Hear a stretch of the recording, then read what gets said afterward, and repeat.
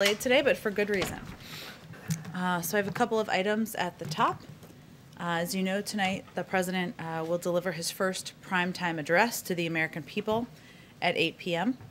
Today marks the one year anniversary of the shutdown due to COVID 19, and the president will speak directly to the American people about the sacrifices made from the more than 500,000 lives lost to the millions of people who are lost, have lost their jobs and the even millions more who have been impacted by the pandemic. He'll provide an update on the work of his team to address the greatest operational challenge the country has faced and the work his team has done to rapidly increase the number of vaccinations, vaccines, vaccination, vaccinators, and vaccination sites. And he will lay out the next steps he will take to get the pandemic under control. Even while he is focused on getting the American Rescue Plan across the finish line, he has been reviewing drafts of the speech. Uh, last week he was, and of course through the course of this week, and making line edits. Uh, he's been uh, uh, providing line edits in, in, order to ensure that he is striking the right tone and providing the right level of clarity uh, as he prepares to address the country this evening. He plans to provide a clear outline of his approach, level with the American people about what is required of them, but also provide a sense of hope of what is possible. I wanted to provide a little bit more on upcoming travel. Uh, as you of, of, of all of our principals as we as we worked as we prepare to go out and engage with the American people of, about what is in the rescue plan. Uh, as you know, uh, next week the president, the vice president, the first lady, and the second gentleman will be traveling across the country to kick off the Help Is Here tour and amplify the American Rescue Plan. On Monday, the first lady will travel to Burlington, New Jersey. The Vice President and Second Gentleman will travel to Las Vegas, Nevada. On Tuesday, the President will travel to Delaware County, Pennsylvania, as you already are aware. The Vice President and Second, second Gentleman will travel to Denver, Colorado.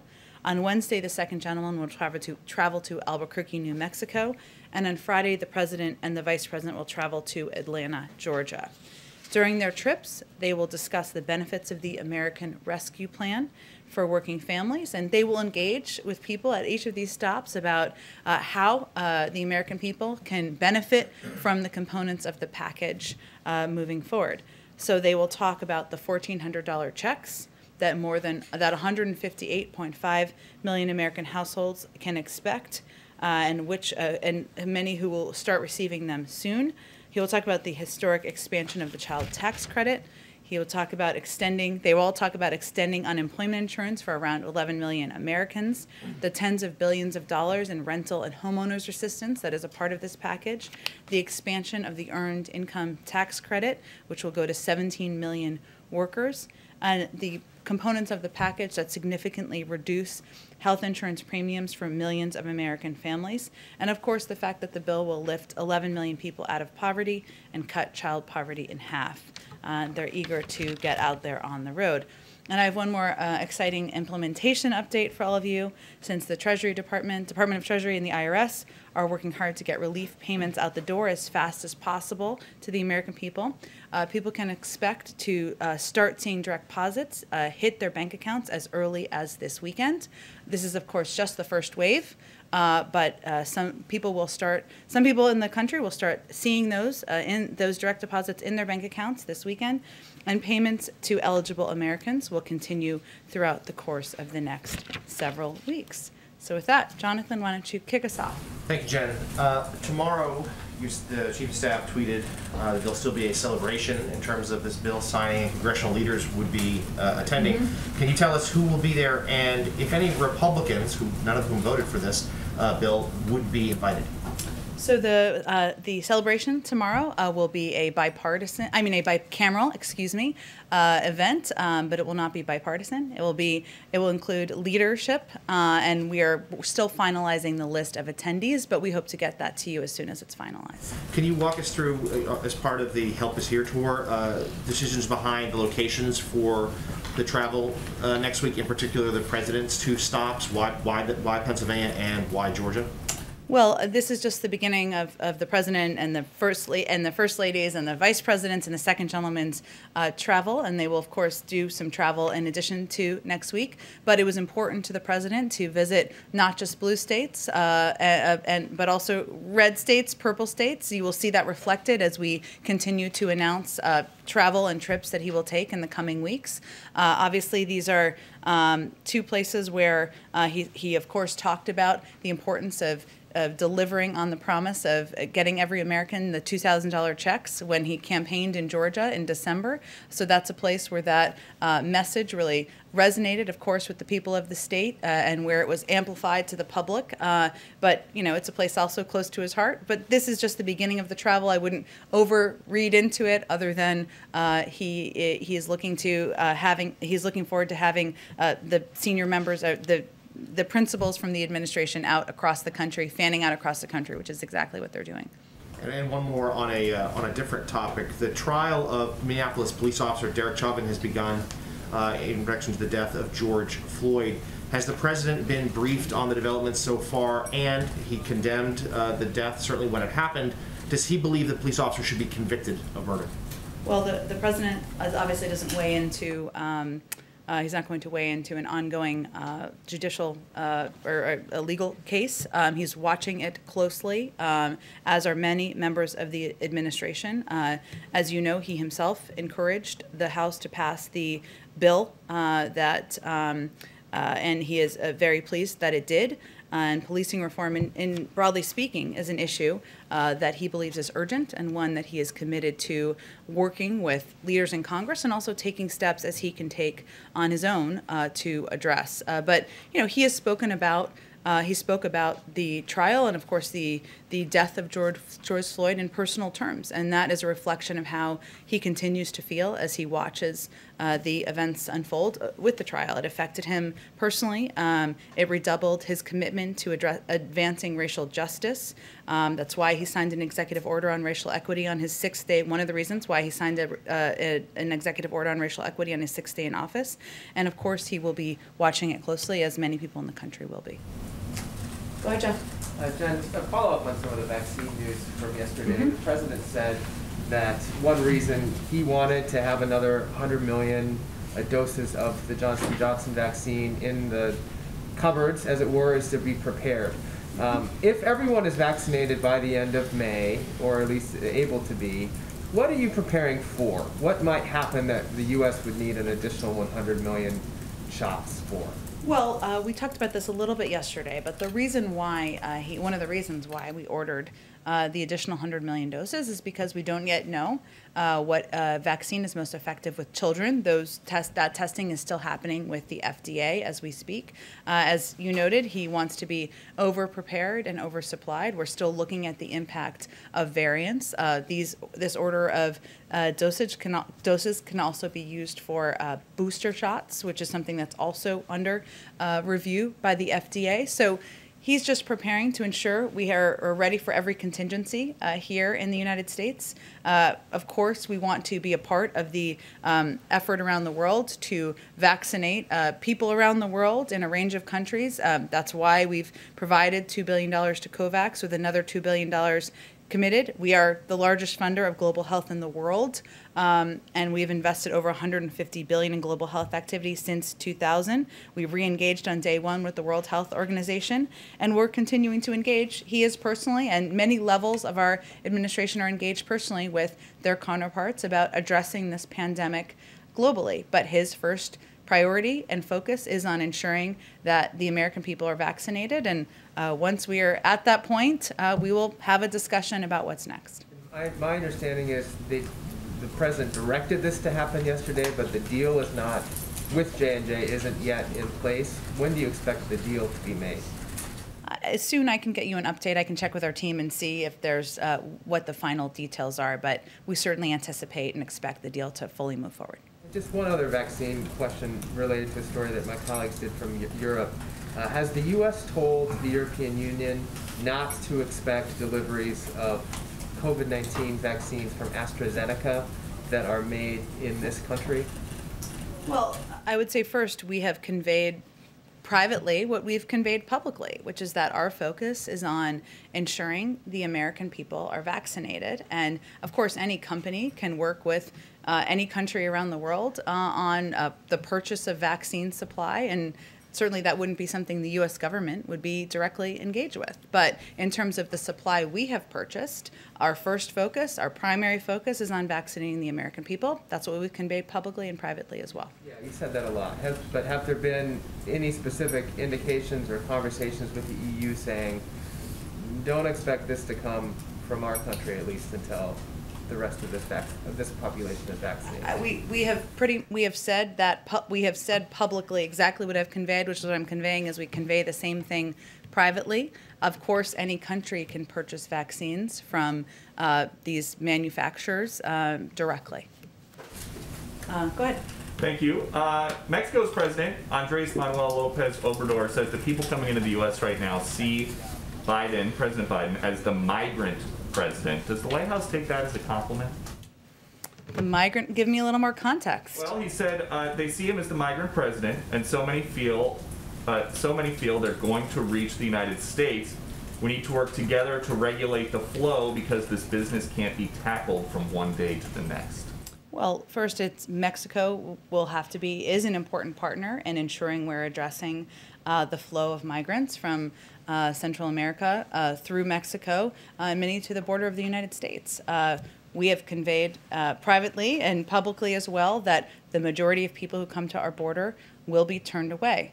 Uh, we certainly also recognize that because the president and our administration has made a decision that the way to humanely approach immigration is to allow for, um, you know, uh, for unaccompanied minors to come and be treated with humanity and, and be, uh, be uh, in, in, in safe uh, place uh, while we're considering, uh, while we're trying to get them into new home, into homes and sponsored homes, that, uh, that some more may have come to our border, and there have been, of course, a, a, a large flow of children across the border. We recognize that, but we, that is that we made a policy decision because we felt it was the humane approach. But the facts are, the vast, vast majority of people who come to our border are turned away, and the statistics bear that out. Okay, and then in terms of keeping COVID out of the country, does the White House think that it's a problem that travelers have to show a negative COVID test, proof of a negative COVID test when they fly into the U.S. from any foreign country, but travelers don't need to show anything like that when they just walk across the border as long as they don't go to a port of entry? Well, I think there's been a lot of confusion about what's been happening at the border um, as it relates to um, people who are coming across um, and what happens uh, when they come across. And I know Governor Abbott down in Texas has uh, has uh, expressed some of his concerns, and many of those have not been based in fact. So let me go through a few of those because I know we're all interested in facts around here. Uh, one.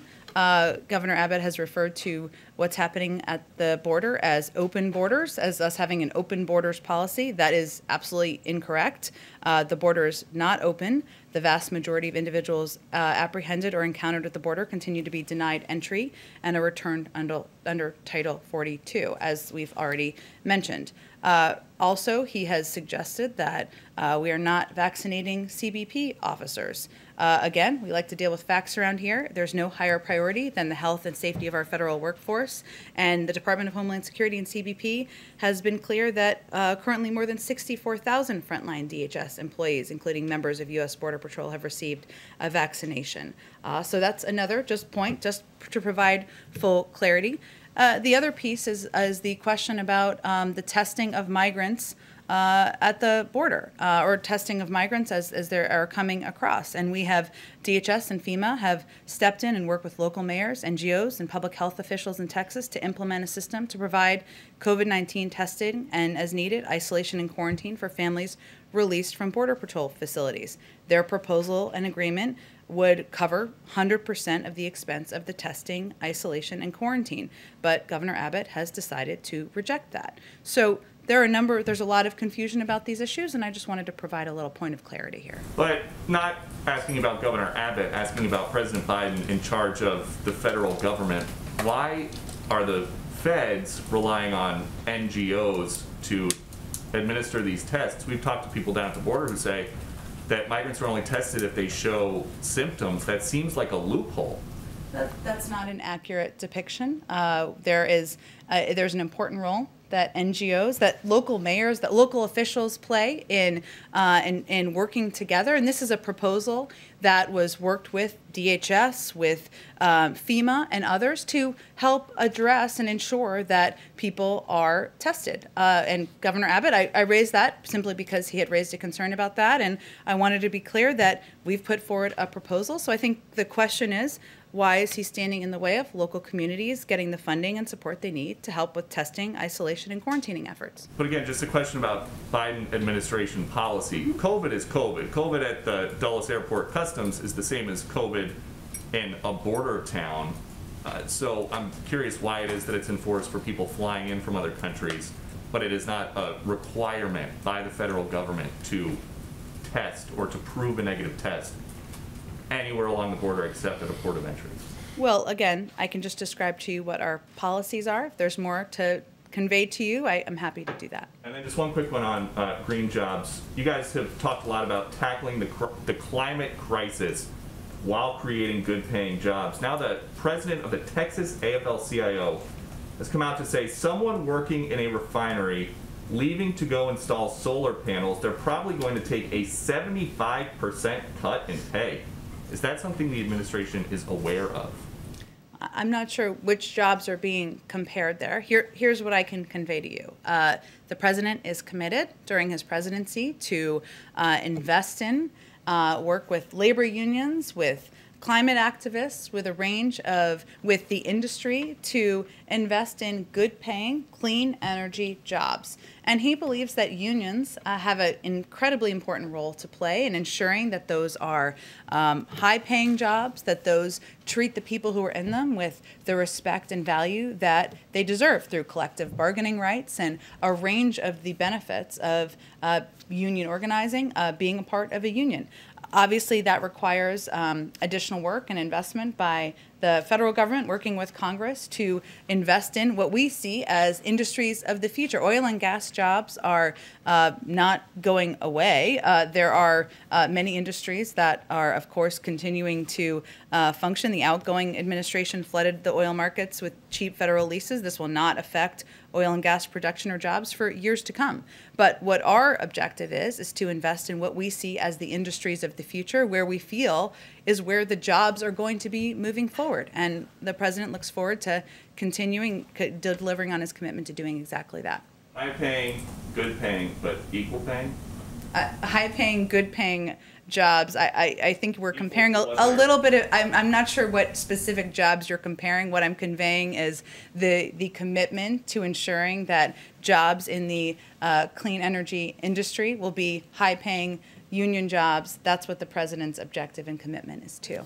Um, go ahead, Caitlin. The White House has said that President Biden wants to look ahead to a return to normal in his speech tonight, but how does he do that while also striking the balance that 1,500 Americans on average are still dying from coronavirus every single day? You're absolutely right, Caitlin, that his objective is to strike exactly that balance. And this is one of the reasons that he has been line, line editing this speech for the last uh, week plus uh, to ensure that he is conveying, that he is leveling with the American people, that he is delivering on his commitment to being truthful about the challenges that we continue to face, what is going to be required of the American public to get to a return to normalcy, as you conveyed. But he also wants to provide a sense of hope and what's possible if we abide by the guidelines, if when you have access to a vaccine, you get the vaccine, uh, what people can look forward to. And so he is, th- that is exactly the balance that he is hoping to strike tonight. So should we expect like concrete steps and policy changes in this speech tonight? I think you can expect, uh, you know, this is his first opportunity, prime time, of course, uh, to really speak directly to the public. You, we all have a conversation about a lot of these issues every single day. Uh, most millions of Americans out there uh, are uh, living their lives. Some of them, uh, you know, dealing with their their kids in school, getting their jobs done, et cetera. And this will be an opportunity for many people to really tune in and hear from him on his plan on what his team has done to date, uh, what steps they've taken, an update since he took office, but also concrete steps he wants to take moving forward. There will be some news in the speech, uh, but uh, it is really about laying out clearly uh, and, and uh, for the for the American public what steps he's taken, what his team will do, and what is expected of them as well. And since he's just signed this bill, has he decided who is going to oversee the implementation of it? And then on the ceremony tomorrow, you have some Republican senators who did not vote for this bill now touting parts of it. What is President Biden's response to those Republicans like Senator Wicker? Well, we invite them to work with us on the agenda moving forward because clearly the bill that the president just signed into law is something that the American people are excited about, that uh, people will benefit from as soon as this weekend, as we conveyed. And uh, we are hopeful that as the president talks about his Build Back Better agenda, has more meetings with members of Congress, we'll have uh, more people on board from both sides of the aisle. And regarding who's overseeing? Oh, uh, you know, we are, as I mentioned yesterday, the president absolutely is committed to having a person who run, is running point on it. I don't have any personnel announcements though today. question on the border. The administration has refused to call it a crisis, instead of referring to it as a challenge and saying what you call it doesn't make a difference of how you're responding to it. But now today there are over 3,700 children, unaccompanied migrant children, in Border Patrol custody. They're spending on average over 100 hours, four days, in these facilities that are jail-like facilities not meant for children. So how can you say that's not a crisis? Well, I, think what uh, Ambassador Jacobson and Secretary uh, Mayorkas were conveying, and what I've conveyed, is it, doesn't matter what you call it. It is an enormous challenge. It is something that is front and center for the president. Uh, as, as we I noted yesterday, uh, he had what is a, a regular meeting, but he had a briefing yesterday on the trip to the border. And there are a number of, uh, while there are no final policy decisions, there are a variety of, um, of actions under consideration, including identifying and uh, assessing other licensed facilities that can help add safe capacity for these children, relaunching, as we talked about over the last couple of days, the Central American Minors Program, accelerating the unification of children with vetted families, uh, family and sponsors, uh, steps like embedding HHS and ORR in the earlier parts of the process. So, you know, the president is very focused and very in the weeds on the operational details here and on, on taking and, and pushing his team to take every step uh, that can be taken to address exactly what you noted, Caitlin, which is the fact that children should not, these Border Patrol facilities are not made for children. Uh, that we should, uh, we are focused on expediting the time they spend there. That these HHS shelters are not meant for uh, permanently for permanent living uh, for anyone permanently living there that we want to expedite the timeline between when kids cross the border and when they are getting to sponsor homes so our focus here is on uh, getting to the root of the issues uh, uh, and taking actions and we don't feel the need to uh, you know play games with what it's called But aren't those the steps that you would take if it was a crisis that you had on your hands?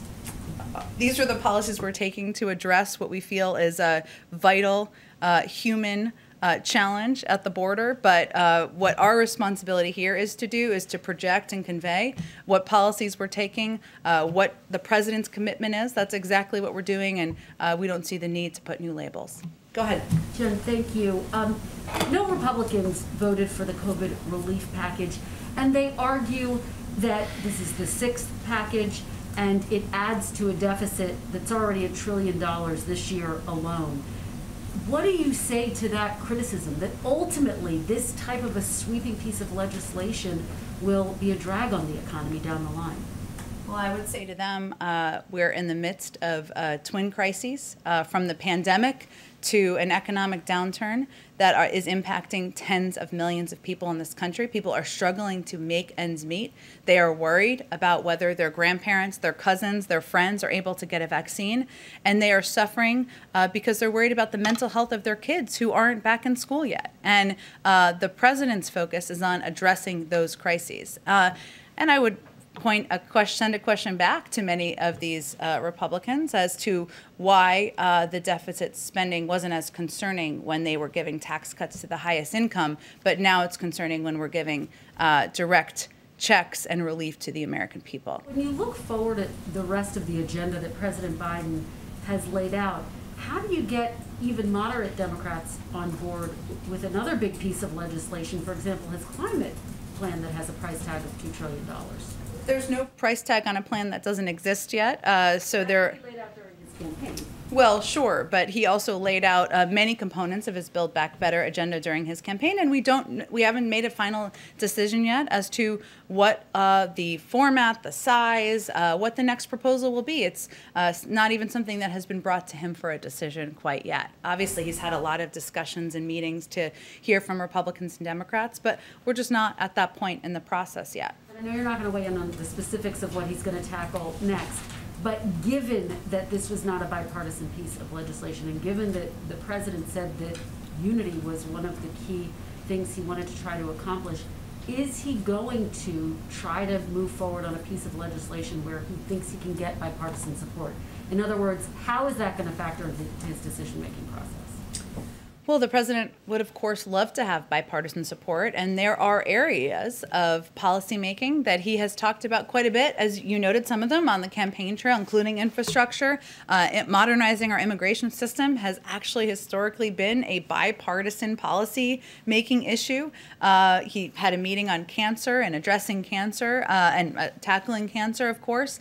Um, there are a lot of issues that he feels uh, there's opportunity to work together on and his open his door the door to the oval office remains open to bipartisanship to finding ways to certainly work together I could try one more time uh, on the issue at the border um, and just follow up on the comments of the Mexican president who said that the surge in unaccompanied migrants is because they see the president as the migrant president. What does that say about how the president is handling this situation? Look, I think the president has been clear, uh, as has every member of our administration. You had Ambassador Jacobson doing this the other day, uh, that the border is not open. Now is not the time to come. Uh, we uh, turn away the vast majority of people who come to the border. The vast, vast majority. These numbers are put out by CBP and the Department of Homeland Security, and people can see those numbers. Uh, we stand by our decision and our policy as an administration not to send unaccompanied minors back on the treacherous journey. So, you know, that is our policy because we feel it's humane and it's moral, and we think the world sees it that way as well. Does the message need to be even clearer, though? Yesterday, Ambassador Jacobson acknowledged that, yes, she said in her own words, you're trying to walk and chew gum at the same time. Yeah. Does there need to be a more streamlined message in order to prevent this surge? Well, she also talked about Kristen, which is true. In the region, we're we're we're working against the efforts of smugglers and others who are conveying a different message.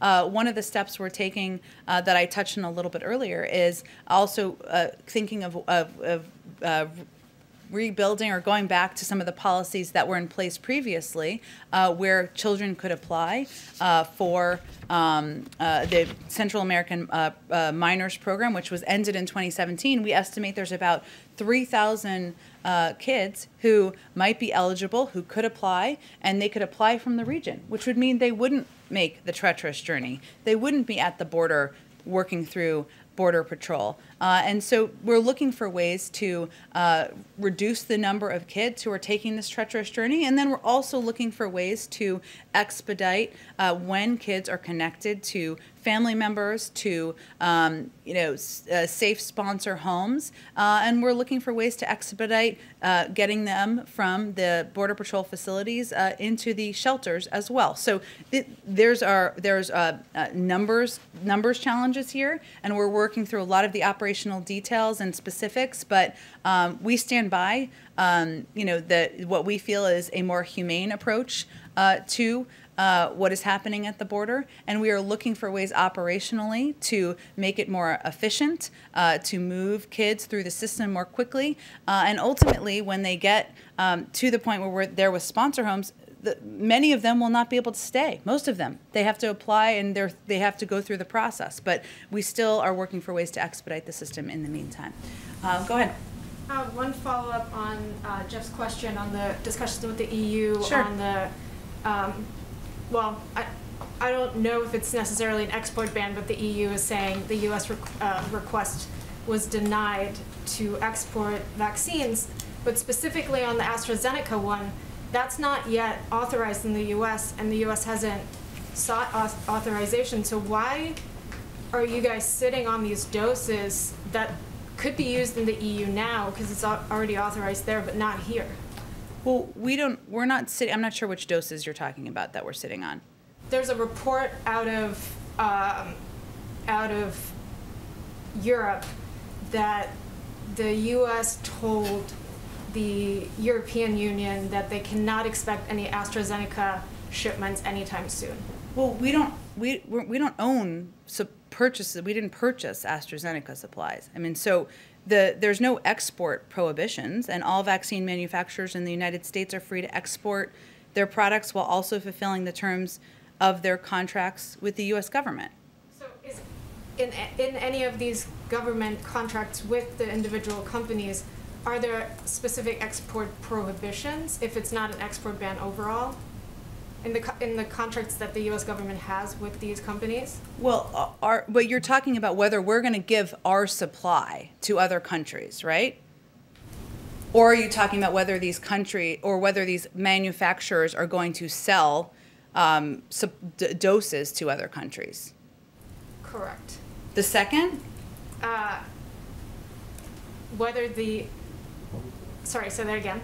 so I'm just trying to understand. So, are you talking about whether these companies are allowed to sell doses of their of their? Um, Well, I'm, I'm talking about how it's almost like a triangle, right? Because these co- these companies have contracts with the U.S. government that say you have to fulfill this contract with us. Right. And so, is any of that prohibiting then exports of any of the doses produced Well, here as I just European conveyed, there's, there's no, there's, these are not export um, prohi- prohibitions. Uh, Vaccine manufacturers in the United States are free to export their products while also fulfilling the terms of our contracts. There are, there are supply that they are producing for the United States, but uh, they can also work with other countries and, Sorry, now I think I, now Okay. we're on the same level. So okay. the contracts that you have with these companies, are there any specific, um, is there a specific uh, provision in those contracts that would say you cannot export until you fulfill our contractual obligation with the U.S. government? I don't have any more details of the contracts, but obviously these companies can work with um, other countries on selling uh, uh, their products. Manufacturers can work uh, with them to with these countries directly. We have conveyed privately what we've conveyed publicly, which is our focus is on ensuring the American people are receiving the vaccine uh, and that we are vaccinating the American public. That's our first priority, but we are also engaging with and working with the global community uh, to figure out how we can get the global pandemic under control together, whether that's through financial contributions or through, uh, you know, navigating with them how we can work together uh, to address it. But we'll continue to evaluate as more vaccines become available in the United States. AstraZeneca isn't even approved at this point. Can I, one other topic, completely different. Um, you just said again, the president hasn't yet made a decision on the next legislative package or what it will be and when Yeah. it will be unveiled. Um, there's a, seems to be a little bit of momentum, uh, led by Senate Majority Leader Schumer on a package that is like a broad sort of China, countering China package. Um, is the White House coordinating with the Senate Democrats on this? Are you in touch with them? And is the president sort of actively going to engage with this effort? i- i- if With the, with the proposal by Senator Schumer? Correct. He- I, I'm certain if Senator Schumer wants to discuss it with him, he's happy to discuss it with the, with Senator Schumer, with Leader Schumer, but uh, I would expect the president's uh, agenda moving forward will reflect the Build Back Better agenda that he talked about on the campaign trail, but the order, the size, the timeline has not yet been determined. Go ahead. Thanks, Jen. I have a couple of uh, foreign policy questions Okay. specifically on Africa, but I just want to pick up something that uh, you discussed with um, earlier about the Central American Minors Program. Sure. Um, I just want to make sure that I understand you correctly, that you were presenting that as sort of like an immediate solution to what's happening at the border by saying that this will take about 3,000 kids. Well, what I don't understand is that, first of all, what's going to be processed are the kids who were uh, already in the process and it was stopped in 2017. And then State Department will uh, continue to process a new application. So that process in itself takes months, no? That they will be prioritized. Um, uh, the process was stopped, as you noted, in 2017, and uh, the kids who were eligible then will be prioritized. So it's not an immediate solution to what's happening in the board. I don't think I said that. I don't have a timeline for you, but it is what I actually, if you were listening earlier, I, I gave a number of steps actually. That's one of the steps. The other steps and address some of the things that you just raised, including the fact that we are working to uh, find ways to accelerate the unification of children with vetted families and sponsors, embedding ORR and HHS in earlier parts of the process. Uh, we're identifying um, and assessing other licensed facilities. So this isn't a this isn't a challenge that's going to be addressed through one step. But certainly, uh, the Central American Minors Program is a way, and the reason I talked about it is because it's a way to uh, help uh, ensure that the, the application process for these kids happens well, not while they're sitting in shelters in the United States or even with sponsor families, but when they are still uh, in their home countries and they will know before they make the journey that they are able to come and stay in this country. And that's a pretty pivotal step to take. Thank you for clarifying that. Um, now on the issue of Africa, does Mm-hmm. the president share the assessment of Secretary Blinken that what's happening on the western Tigray region of Ethiopia is ethnic cleansing? Does uh, the president have any specific view on the particular role of Prime Minister Abiy in this conflict? And is the U.S. considering any kind of action beyond urging the Ethiopian government to stop sending their forces? Yeah, I got a, an update on this um, from my team earlier. So let me just see what I have here to update you on. Um, uh, so the administration has repeatedly engaged uh, the Ethiopian govern- government on the importance of ending the violence, ensuring unhindered humanitarian access, and allowing a full, independent international investigation into all reports of human rights abuses. As you noted, um, Secretary of State Blinken has spoken to the Ethiopian Prime Minister twice to emphasize em- uh, emphasize the United States' concern about the humanitarian and human rights crisis we're seeing. Uh, during his testimony yesterday, he reiterated the situation is unacceptable and has to change, and that we're calling on the Ethiopian government to follow through on its com- commitments that it's made.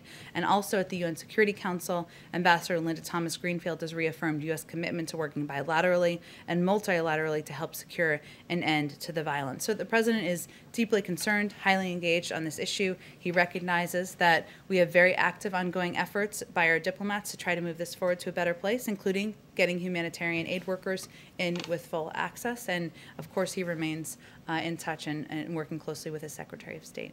Uh, Another topic still on the Sure. continent, on the issue, still on Ethiop- Ethiopia actually, the Trump administration was very much engaged in mediating the conflict between Ethiopia, Egypt, and Sudan on the issue of the Nile Dam. Is the Biden administration willing to continue mediation process as has been requested by Ethiopia, uh, sorry, by Sudan and Egypt? I would send you to the State Department. They'd be more directly involved at this stage. One more, one more Africa Oh, question. okay. Um, Western Sahara. Also, President uh, Trump, as you know, recognized uh, sovereignty, Morocco's sovereignty of the Western Sahara region. Now, Spain is asking for a UN resolution or UN brokered solution. Spain is a former col- uh, colonizer of Western Sahara, asking for a UN brokered solution on this issue. Um, has the administration completed its review on this particular Trump deal because it does, you know, deal with the overall Abraham Accords policy? Mhm. And what is your position on it? As you know, we are reviewing uh, all of the many Trump positions, including the Abraham Accords, but I don't have an update today for you on it. Go ahead. Uh, yeah, I just wanted to go back to the border. Uh, Sure. My colleagues reported yesterday that uh, the administration is uh, looking at a NASA facility in California to house some of these unaccompanied children. Can you talk a little bit about the plan to identify and find space for them? What, Mhm. what sort of facilities are you looking at? I don't have a list of facilities, uh, but I will convey that we are, or reiterate, um, that part of our effort and our focus and what we're prioritizing is identifying and assessing uh, licensed facilities that can help add safe capacity for these children. And even with the update in CDC guidelines that we've talked about a little bit this week that allows for greater capacity safely at these facilities, we still want to ensure that we have uh, facilities that are uh, safe, licensed, um, and prepared to house um, children uh, so that we can move them quickly from the border patrol uh, uh, the border patrol uh, locations. Um, but i don't have anything. We're looking at a range of sites our team is and, and i'm sure uh, some will be hopefully identified soon but i don't have anything to preview for you beyond that Okay, And then on the trip with with all the principals kind of crisscrossing the Yeah. country next week, it's an interesting list of states, I Yeah. think you said, um, purple, uh, uh, at least. Um, I'm wondering, even though that this relief package has no support here, what have you been hearing, or what do you expect to hear from Republicans in these states? Do you expect to be received by them at all? Have you heard much, like, have you? Republicans like local elected Yeah, or mhm. Look I think what, we saw uh, even during the the um, effort to pass the American Rescue Plan is that there were 400 governors and mayors across the country many of them Republican. We had a Republican mayor come here and talk to you all about how vital and important this was to his community. Uh, and so we certainly anticipate that many of the local elected officials who supported the passage, um, who are seeing, um, you know, funding coming into their states to help ensure that cops and firefighters keep their jobs, seeing funding that's going to come in and help reopen schools, seeing people in their communities get checks as early as this weekend, that uh, they will uh, be open, many of them, to uh, engaging with the president, the vice president, the first lady, the second gentleman, uh, where there's an opportunity to talk about the benefits and, com- and communicate to their communities about how people can access these benefits. And that's a big part of the this um, blitz around the country is ensuring that the American people have that understanding, and that's what uh, uh, our uh, all of our uh, principals will be conveying.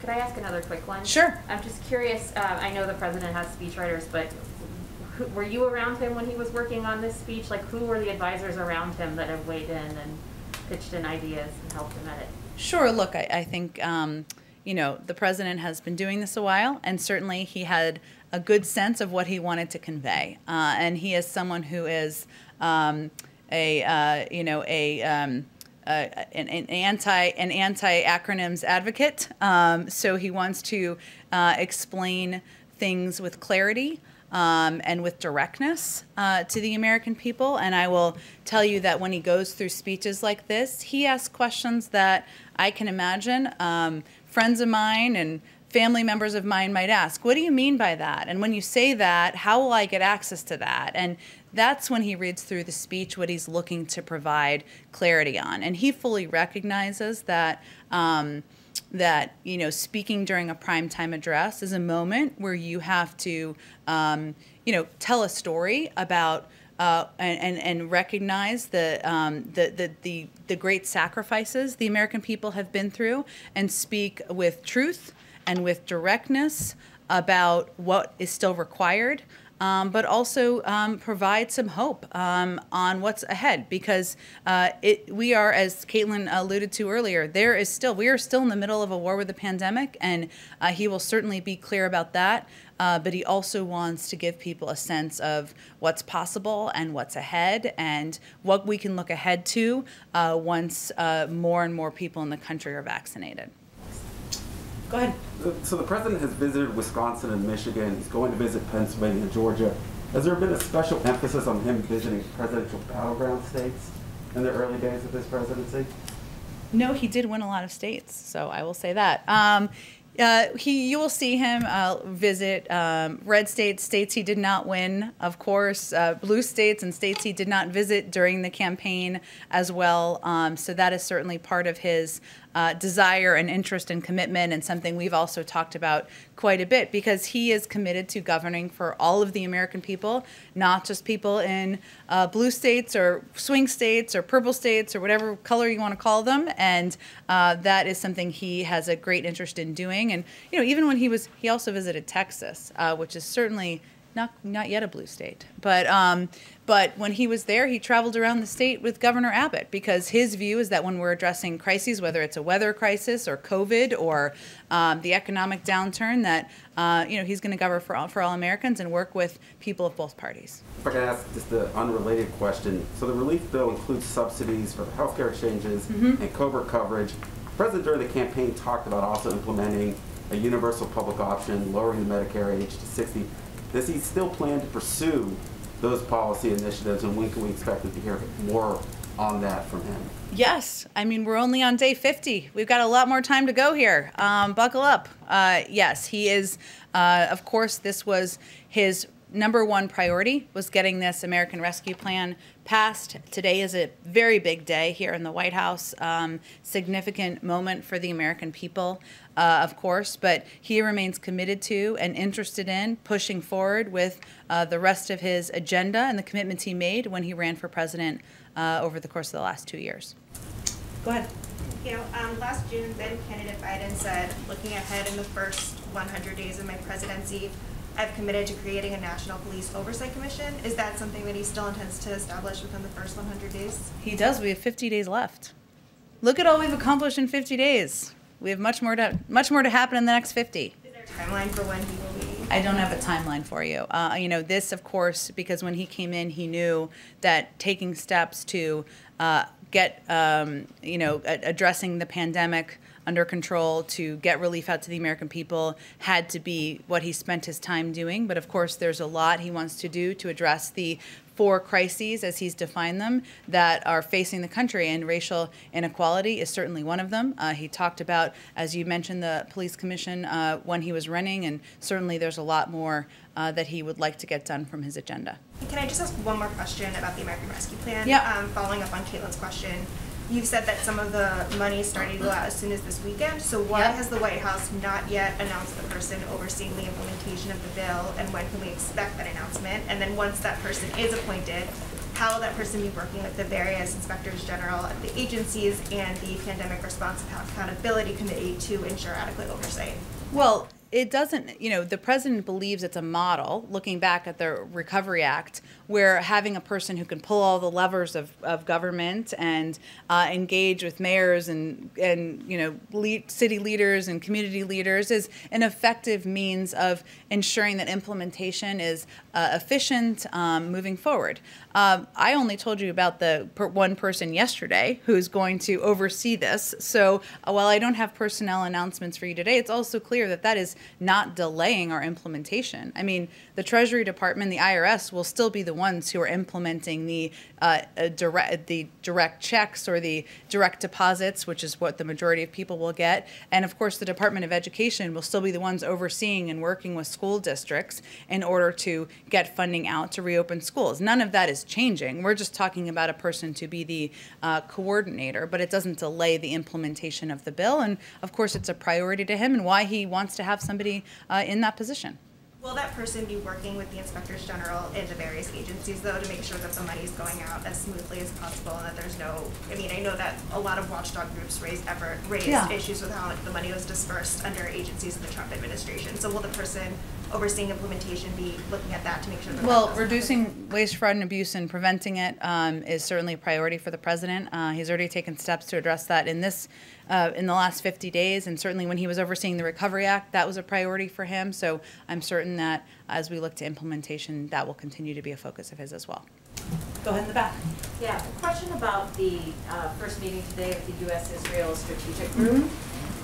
H- How important is it to President Biden that the, the U.S. strategy on Iran be coordinated with Israel, given the fact that the Israeli leader, Benjamin Netanyahu, who doesn't like the deal, has been very vocal about it?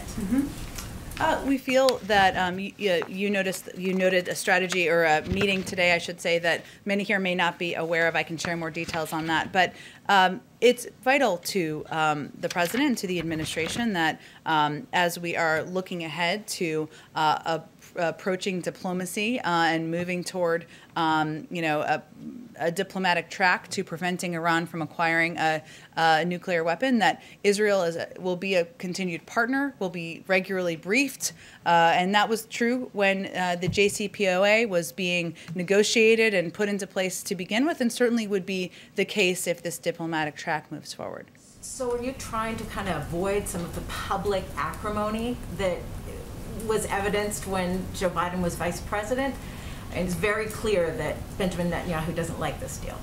Well, uh, it was clear for some time, and then once it was in place, I think many countries in the region were uh, happy to have the um, uh, direct visibility into uh, what Iran was uh, doing, uh, to have inspectors on the ground, and certainly we're very familiar with the opposition as the bill was being negotiated, and we can, will continue to uh, work with and directly engage with Israel if this if there's a diplomatic path forward, and even without that, uh, they're an important partner. Israel is. Um, but uh, I would say there it quieted a bit once the once once there was a recognition of um, the benefit of visibility on the ground, and we don't have that now, and we haven't had it since the Trump administration pulled out of the deal. Just, just to follow up though, uh, how concerned is it, uh, is President Biden of statements coming out of Israel, for example, from the head of the IDF, who, uh, so the military option is still on the table, that he thinks it's a bad idea to, to get back to this deal. I mean, is the United States worried that the relationship with Israel could draw the United States into some sort of armed conflict with Iran?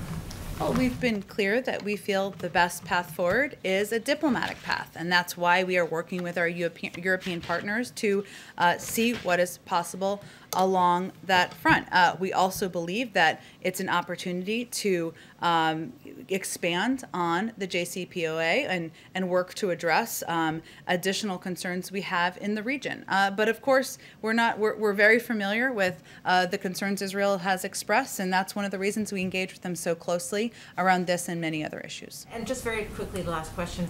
Obviously, there are imminent elections in Israel as well as Iran.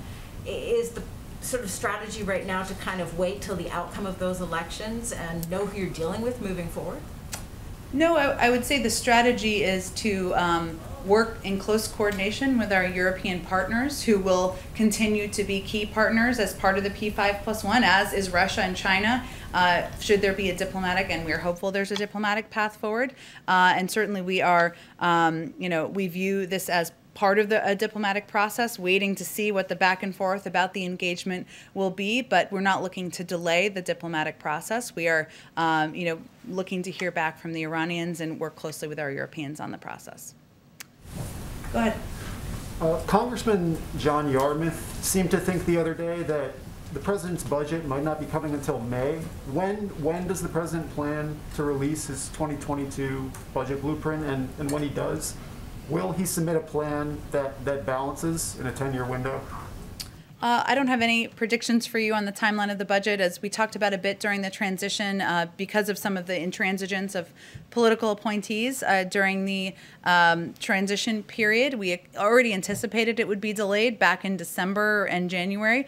Obviously, the fact that we don't have a confirmed uh, OMB director in place um, doesn't help expedite that timeline. Uh, but so we knew it would be delayed, but I don't have a, a, specific timeline for you or a frame of what it will look like.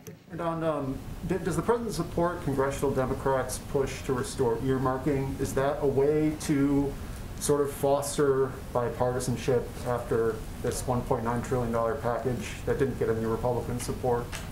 Well, we don't have a package yet that we're talking about um, that we are working through with Congress. Uh, obviously, the president's uh, spent 36 years in the Senate, and he uh, is quite familiar with the role of earmarks. But uh, I don't. when we have a package to announce and we're talking about the legislative strategy, we can probably talk about it more. Is that? Well, I mean, because Democrats are making the case that this will. You know, it, it's a way to get Republicans to support spending bills, things along those lines. Is that the White House's view is, is earmarking a, a potential path to sort of break, break some of this gridlock? We just don't have a legislative package we're even talking about here. So when we do, we can have a discussion about what the legislative strategy is. But we're, we're not at that point. We just signed into law, the president just signed into law today, a $1.9 trillion package uh, that he is looking forward to implementing. That's our focus. And in the coming weeks, I'll have more to say what's next, and then we can have a discussion about how we're going to get that package through. And on the fourteen hundred, oh, so, sorry, one go more. ahead, you're fine. Go ahead. On the on the fourteen hundred dollar checks, consumer advocates are, are raising concerns that private debt collectors might be able to intercept part of it because apparently language protected that in the last round of $600 checks but because of the budget reconciliation process, um, senators had to cut that out. Would the president support standalone legislation? I think Senator Wyden says he's going to be working on that. And how, how does the president expect to get standalone legislation to take care of that issue? And how does the president expect to get bipartisan support for sort of these provisions, technical corrections like these that pop up, you know, on every major bill like this? I'm not sure if there are technical corrections needed. I'd have to talk to the Department of Treasury about that. I mean, in terms of the checks, uh, 90% of them about will go via direct deposit um, to people's bank accounts that they have because of people paying taxes. Um, if there are other additional components that require that, I'm happy to have that discussion with them and see if they think there's technical changes needed and if those technical changes require Congress, which I, I'm not I'm not sure they would or wouldn't at this point. Go ahead in the back. Thank you. I have a, uh, I have a couple of questions. Uh, last week, uh, President Biden, in his virtual interaction with NASA scientist Dr. Mohan, said that uh, India, people of Indian descent are taking over the country. Can you clarify that? What did he meant by that? Because there have been some criticism by his opponents on his remarks. Well, I would first say that uh, the president was just recognizing and, and, honoring and valuing, or this was his intention, uh, the incredible contribution of Indian Americans to uh, science. Uh, he was speaking to a an Indian American woman who is, a, of course, a scientist and uh, and a, an important part of the NASA team. Um, and he also was, of course, recognizing the incredible contribution of his own vice president. Uh, and he just believes that um, it was a reflection of his belief that Indian Americans uh, have a, make a great contribution to the fabric of society, whether it's science or education or the government, and uh, that was what he was trying to convey. A number of Indian Americans who came to this country as illegal immigrants and want to make this as a home they feel that uh, the, this administration is not much focused on resolving the issues related to legal immigrants, rather than they are more focused on illegal immigrants. What do you have to say on that? I would say they we should um, you should write an article about how uh, the president's immigration bill uh, proposes uh, a number of uh, fixes or changes in the legal and legislative system to ensure um, that those issues are addressed, and we're eager to move that forward with uh, members of both parties. I have one China question. Okay. Uh, today is 50th day, and tomorrow President is addressing the Quad Leaders Summit, and a yeah. few days later, uh, Secretary of State and NSA are having their bilateral meetings in Anchorage, Ankara, on China after 50 days, what are the major asks from China? What do you want uh, China to do so that to uh, improve the relationship that the United States has with Beijing? Well, I, I would expect obviously this this meeting uh, next week. Uh, we felt it was important to have it on U.S. soil. We certainly anticipate that uh, National Security Advisor Jake Sullivan and Secretary of State Tony Blinken will be discussing both um, the challenges we've had um, and not holding back on uh, issues and concerns we have we have with the behavior of uh, Chinese leadership, uh, whether it's on uh, Taiwan uh, or um, recent. Um, you know, efforts to um, push back democracy in Hong Kong, uh, or on concerns we have about um, the economic uh, relationship. So they will certainly raise those issues and, and, the lack of transparency as it relates to COVID, human rights abuses as well. But they'll also talk about uh, areas of uh, opportunity and ways we can work together. We uh, certainly will not, they will not be holding back in the conversation, but uh, they wanted to, you know, it's an important uh, moment next week to engage directly and, and in person. And we're, I know they're looking forward to it. We'll have a robust readout, I'm sure, when that meeting concludes. As a foreign journalist colleague of mine who going to be present here has sent me a question for you. Uh, the International Olympics Committee today announced that China will provide vaccination for athletes teams and attendees of the Tokyo Olympic Games.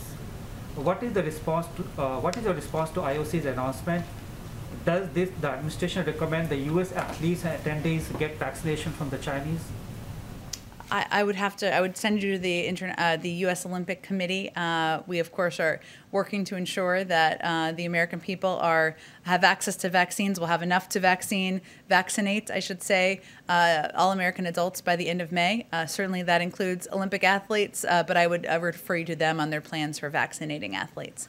Go ahead. Thanks, Jen. A couple on topics we haven't touched on yet. But Politico ran a poll yesterday. I'm not sure if you saw it, finding that 53% of Americans think that there should be a ban on transgender athletes competing in women's sports. Included in that were 40% of Democratic respondents who agreed that there should be a ban, and 49% of independents. Obviously, the president is committed to advancing LGBTQ rights, but looking at this through his call for unity lens, do you think these opinions are coming more from a place of trying to protect women's rights or equality in athletics, or are these just flat out bigoted opinions that the president shouldn't acknowledge at this point in time. The opinions in the poll? Yeah. Well, People who voiced support for banning transgender athletes. I did not women's conduct the poll, nor was I part of the polling committee that had conversations with people. Uh, what I can convey to you is that the president believes, regardless of this poll in Politico, did you say Politico, I guess? Politico and Morning Uh, I. I didn't see the poll or the article, but, uh, but I didn't read Playbook. Um, but I, um, but I, but the president believes that transgender rights are human rights, that, uh, that kids, uh, should not be discriminated against and should be able to play sports. And that continues to be his belief. Uh, and that hasn't changed. But uh, I'm not going to guess or attribute motive to the people who responded to that poll or any poll, actually. And then on the House's passage of these gun violence legislation bills uh, today, has the, has the White House been actively courting uh, Republican senators to, to, to vote yay for this? Obviously, from a numbers standpoint, it's going to be a lot harder to pass there than in the House. And if not, does the president believe it can pass the Senate, or those two bills can pass the Senate in their current iterations?